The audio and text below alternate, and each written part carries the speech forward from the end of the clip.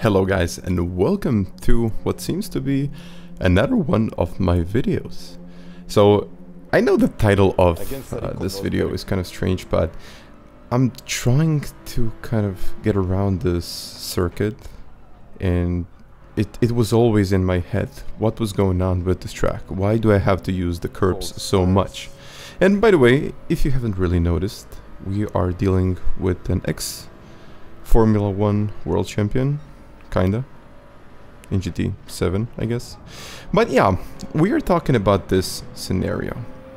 And we are always talking about the curbs on this track. So it's about the chicane, about the other curbs, pretty much all there is about curbs. So it's always curbs, curbs, curbs. And basically, you, sometimes you don't even know when you're losing time. So this race was pretty interesting. I mean, I was in second place. I really didn't have much practice at all. I mean, I just tried to get around the track. But what it seemed to be the problem was always the chicane. I always seemed to be kind of getting time in the chicane because my Supra was stable. But Rico, or Nico, when, I mean, whatever you want to call him. I mean, pretty much, yeah, I, I, did, I was kind of confused at that point. But yeah, he was doing not very well through the chicane, and I was always picking up time there. And just as I thought he was kind of pulling away, he would always do kind of a little mistake. Kind of. I'm talking about a little mistake. I mean, losing about three or four tenths just in one corner. I mean, sometimes he could do kind of a bigger mistake. Sometimes was would be kind of a little mistake, but overall he would pull away because he really had game. pace. I mean, his qualifying pace was absolutely amazing. But just as he got through the chicane, it was always this BMW. And eventually, he yeah he always lose time he would always lose time and, and just the like gap would go from literally 1.5 to 1 no actually below 1 uh, 1 second and even into maybe half a second. So I was just keep picking up a lot of time re really but yeah I was just picking up time by staying clean. So it was kind of, I think it was kind of frustrating for him because he was in the lead and he was always kind of, you know, making those little mistakes. This car was so unbelievably unpredictable.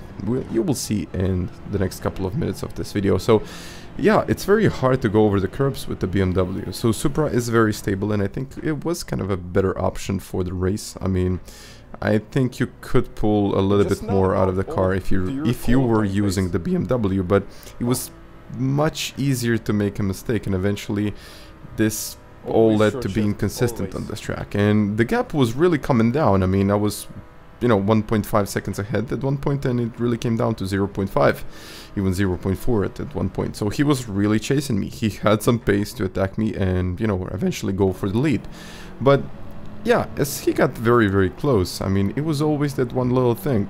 Mistakes. Hey, I mean, it's not really a, a little thing if we're talking about it in the, that way, but yeah, if you make a mistake here, you're just gonna lose a lot of time. So basically, if you don't hit the curb right, you're losing like half a second.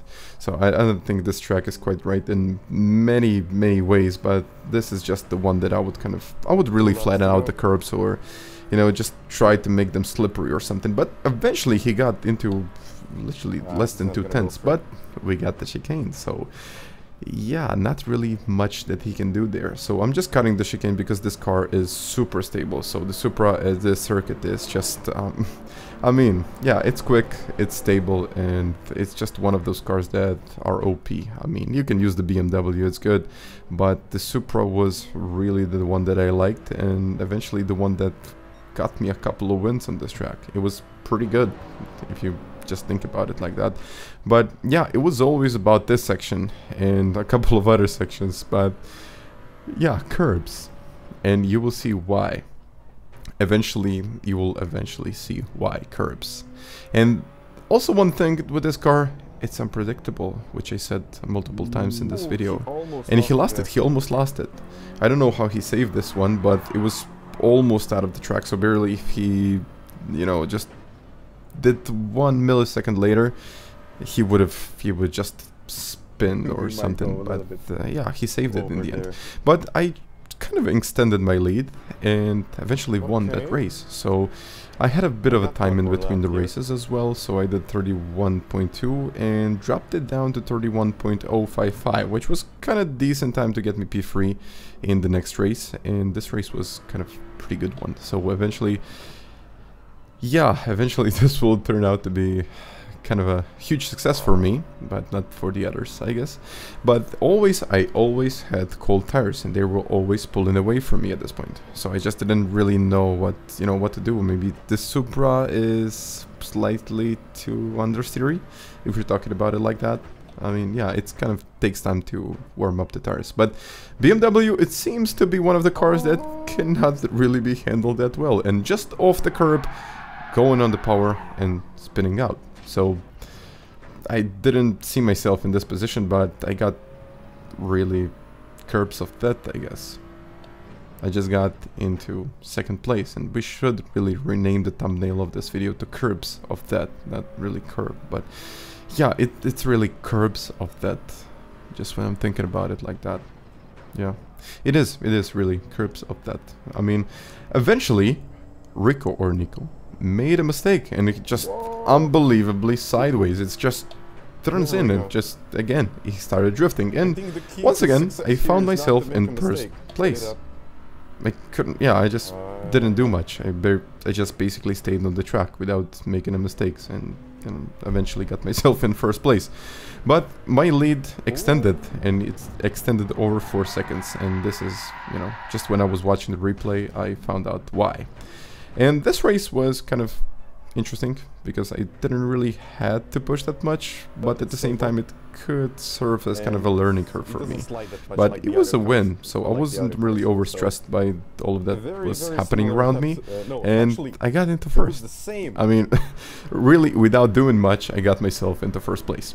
But yeah, it is what it is, I guess. Sometimes you just have to stay on the track to, you know, to get something out of the race. But much, much earlier okay, this race uh, was, mm, I think, it was slightly on a different level. I mean, this is uh, Quentin and Brea. I mean, they're just incredibly quick, top split drivers. But again, I was always kind of getting closer in the chicane. I was always just pulling the dead two tenths or maybe even three tenths. And at this one point, I got really, really close to Brea. I mean, just close enough to go for a move. He closed down the inside, which was kind of smart because it's really, really hard going on the outside. And he parked himself on the exit of this corner, which again kind of compromised my exit. And yeah, he kind of kept this place. This was a really, really smart decision from him. And yeah, we were just driving around like this, not really making that much impact on the race at all. I mean, yeah, just and like a couple of laps later, and this is unbelievable. It wasn't really unbelievable, but I lost it. I lost it. No, he and he lost it. He also lost it. So we we both lost it.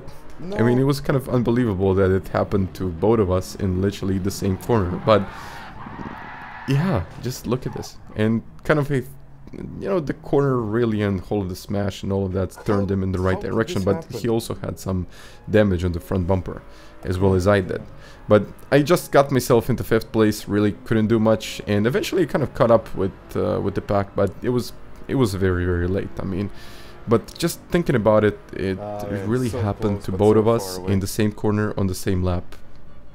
Eventually And I, I was just thinking about it, 20. like what what are the odds? But I guess the Uh, odds on this one are pretty high. 26, I guess so. But okay, the next one was also really, really good. I had Quinton just in front of me, and I found myself in kind of the sweet spot. I don't know when, you know, just when you're racing and all of a sudden you find yourself kind of fully concentrated, like fully into the game, and you know, the lap times are really, really good. So it's kind of a rhythm. I wouldn't really call it a rhythm. It's something I don't know. It's it's very hard to describe that feeling, but just getting that flow of the car, the car naturally goes through the turns, and eventually you're pulling up some very very fast lap times. And I was kind of able to stay with Quentin. I was, I mean, I was even surprised at this point because I know he's very very quick, and eventually he might be one of the quickest guys out here. I mean, in general, in the world, and yeah. I mean, just being in that position so you can follow someone like that, it kind of feels right. It kind of feels good. It doesn't just feel right. It just, I, I think it just feels good. But you know, on the other side, I mean, he also made a couple of mistakes. I mean, I was still, you know, I was still behind him. I was still less than a second behind. So, which allowed me kind of to stay, you know, stay with, uh, stay with him and basically pull some decent lap times and eventually maybe find myself in the position where I want to be. Kind of if he, I'm saying if he makes a mistake on this track, which is highly, uh, it's kind of, it's, I wouldn't say it's highly unlikable. It's very unlikable that someone will make a mistake on this one. Because if you want to get a good lap, as I said before in the opening of this video, you just gotta pull like an amazing, an amazing lap over and over and over again and go over the curbs over and over and over again without making a mistake, which is yeah, very, very difficult. But yeah, I found myself like two seconds behind him. He did a couple of mistakes, and eventually he almost lost it. And you know, just as I was watching this replay, I couldn't believe what he has done at this point. You know, just the save that he's done in here. So just just look at the wheel here. I don't know how he kept it on the track. I would I would probably spin like three times at that, at this point. I mean, okay, it wasn't really funny for him, I guess, but you know, just made my day a lot better because now I'm leading the race. Uh, again, I just found myself in the place where it is kind of, yeah, I don't know, unfortunate for others, but very fortunate for me. And just find yourself in the first place and leading a race like this without really making a huge mistake. It's kind of, it, as I said before, it kind of feels good. It might not feel right, but it feels good. And I had a kind of a good gap. It was almost 1.5. And I just thought to myself, what I mean, is it really worth it just pushing over the next lap? I mean, it, honestly, it wasn't really that worth it. Just this car had a lot of pace on the straight. I mean, he was very, very far behind. I mean, not very far behind, just one little mistake and he could have got me. But the gap went down to 1.1 and I crossed the finish line and it was a win. So just to close up this week, it was a pretty interesting and also successful week for me.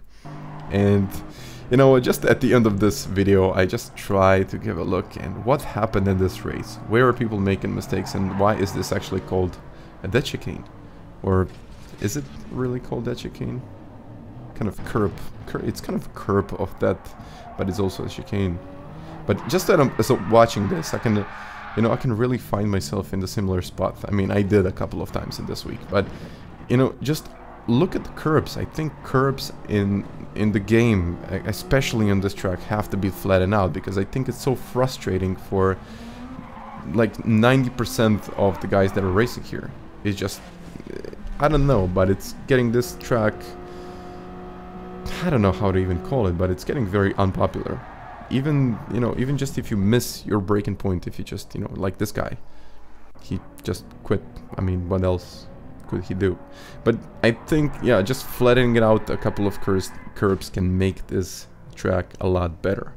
So just as I was watching the re replays here and I thought to myself, do we really need curbs like these? Do we really need it? I mean, I, I think the answer is no. But you can also help me answer this question down in the comments. And by the way guys, I hope you liked this video. And if you did, you can always smash the like button. I do appreciate that stuff and you might even want to subscribe to the channel. So once again, see you next time. Bye.